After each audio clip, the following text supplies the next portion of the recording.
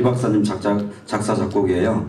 그리고 다음 제가 부를 노래는 참사랑이라는 노래인데요. 저기 가수 옥주님을 모실 겁니다. 잘 한번 들어보십시오.